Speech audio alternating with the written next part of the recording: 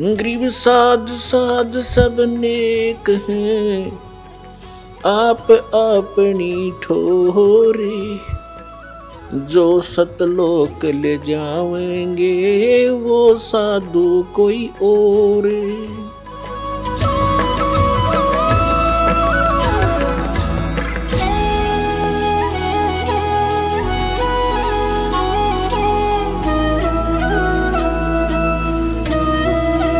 फिर क्या है इस इस काल ने पाँचवें अध्याय के अंदर फिर अपनी टांग अड़ाई है गीता ज्ञानदाता ने। उसमें इसने बताया है कि ऐसा आसन हो, ना घना ऊँचा हो, ना नीचा हो, एकांत स्थान हो, ना नाक के आगे ध्यान लगावे और ऐसे भक्ति करे। ये वेद ज्ञान नहीं है। ये इसका अपना मत है। गीता जी के अंदर दो तरह का ज्ञान है। एक तो वेद ज्ञान है और फिर दूसरा इसने अपना मत उसमें डाला है। तो अब यदि हम इस पाँचवें अध्याय वाले क्रियाओं को सही माने तो तीसरे वाले खराब गलत होगी, जिसमें ने कहा, तू एक जगह बैठ के क्रम से नैसी हो गया तो तेरा निर्वाह कैसे चलेगा? इसलिए तो युद्ध भी कर सिमरण भी कर, काम भी कर, भक्ति भी कर। ये तो वेद ज्ञान है। ये सही ज्ञान है। क्योंकि यजुर्वेद अध्याय नंबर चालीस के मंत्र नंबर पंद्रह में कहा है कि वायु अनिलम अथ इदम भस्मांतम शरीरम। ओम कर्तु समर किलबे समर कर्तुम समर। ओम नाम का जाप। काम करते करते सिमरण करो।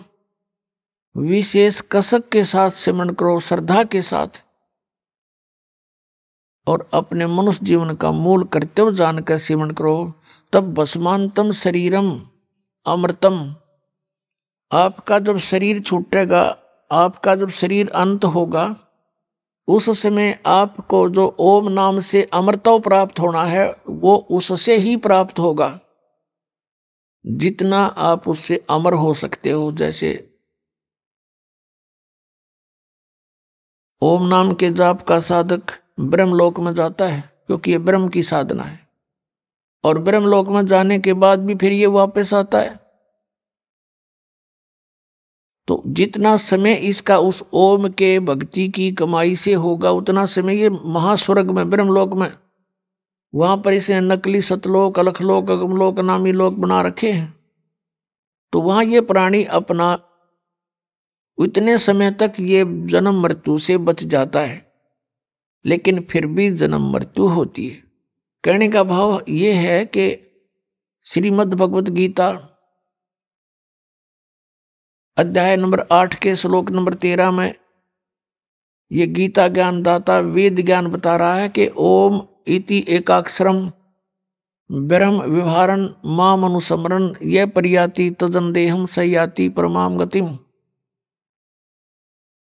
मुझ ब्रह्म का एक ओम मंत्र है, एक ओम अक्षर है, बस नथिंग एल्स इसका उच्चारण करता हुआ जो शरीर छोड़कर जाता है, वो मेरे वाली, इस ओम से मिलने वाली परम गति को प्राप्त होता है।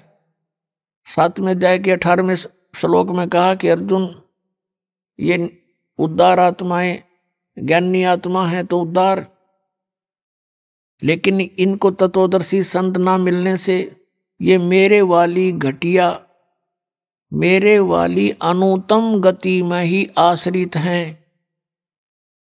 क्योंकि ओम नाम के जाप से ब्रह्मलोक प्राप्ति होती है, और ये ब्रह्म की साधना की परम गति है ब्रह्मलोक प्राप्ति।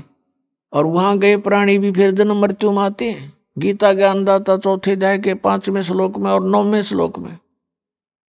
दूसरे अध्याय के बारहवें श्लोक में, दसवें अध्याय के दूसरे श्लोक में गीता के अंदर, गीता ज्ञानदाता कहता, अर्जुन, तेरे और मेरे बहुत जन्म हो चुके, तू नहीं जानता, मैं जानता हूँ। इसे सिद्ध है कि ओम नाम का जाप करने वाले जो ब्रह्म पुजारी हैं, उनकी भी जन्म मृत्यु और इनके भगवान की भी जन्म मृत्यु सदा बनी रहती है। तो जब तक जन्म मृत्यु है, जीव सुखी नहीं हो सकता।